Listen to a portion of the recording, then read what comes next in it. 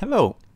Today let's talk about working with 2D in Unity. So far we've been um, checking mostly 3D stuff, but if you want to make a 2D game, then Unity is perfect for that as well. To start with, we need sprite, basically a texture. If you Google some character with PNG, uh, you will see that um, in Google Images Preview, you see this checker box, which means this image has transparent background.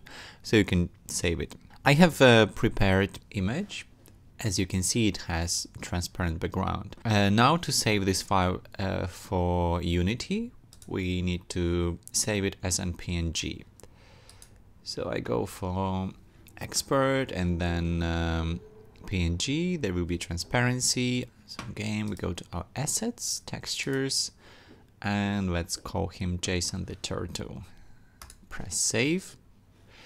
Now we are ready to work with him. Go to our textures and then you will see Jason the Turtle.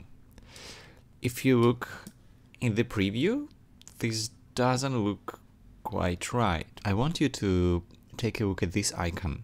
So this icon or button, it means that you can check the alpha channel of the image.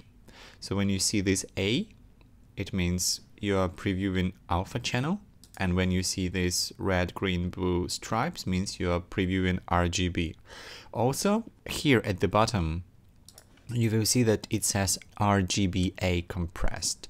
So what that means it has uh, three channels RGB and it also has a dedicated alpha channel for transparency. For example, if we press our brick on our brick texture, you will see it only has RGB and this icon is absent. So that means that our texture has transparency. Go to the uh, game object, a 3D object, create quad, a polygon which consists of two triangles.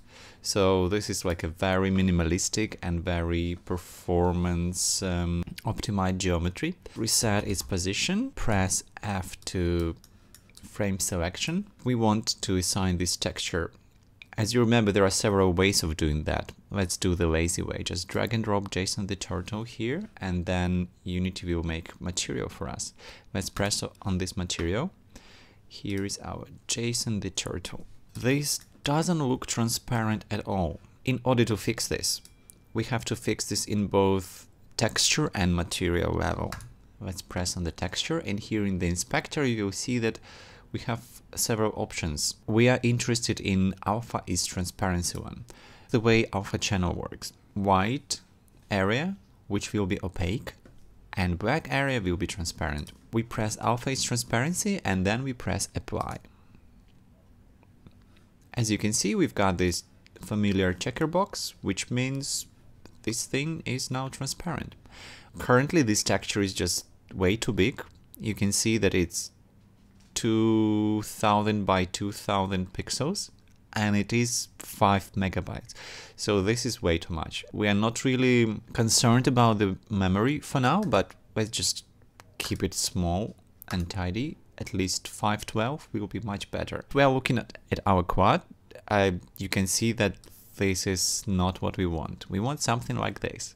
So now we have to solve transparency on the material level. By default, Unity will create a standard shader and rendering mode will be set to opaque. We want transparent. But if we select transparent, it only partially suits our needs. You can see that it still has like semi-transparent area and this is to do with um, smoothness. What we want is fade. As soon as we change to fade, then you can see that our opaque area still is getting these highlights, but at the same time, our transparent area is completely transparent. All right, this is very cool. And this is exactly what we need. Working in 2D doesn't mean that you have to stick to the 2D mode. If you remember the first lesson, then by pressing this button, we switch to 2D mode. Also, you can press 2 on your keyboard to toggle 2D mode. As you remember, we cannot orbit into the mode and you can only pan around. Our usual um, ways to manipulate game object are move, rotate and scale. But in 2D mode, it also makes sense to use this um, gizmo for 2D manipulation, so you can also adjust scale like that. This is the very basic introduction, and in the next lesson we will talk about how to work with animated 2D sprites and how to create character animations.